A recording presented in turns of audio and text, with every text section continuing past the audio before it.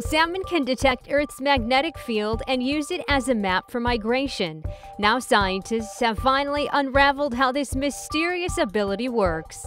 Oregon State University researchers found Chinook salmon use magnetoreceptors in their tissue to tap into Earth's magnetic field. Magnetoreceptors are incredibly difficult to find, so to suss them out, the team exposed fish to magnetic pulses and compared them to those that weren't. In a scenario mimicking a distant ocean, researchers saw the pulsed fish pointed their heads in the same direction. The team says the magnetoreceptors act as a compass and give them directional cues and also a magnetic map, allowing them to determine their location in an ocean basin.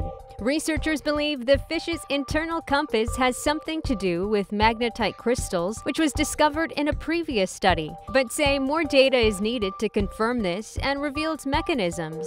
The study was published in the Journal of Experimental Biology.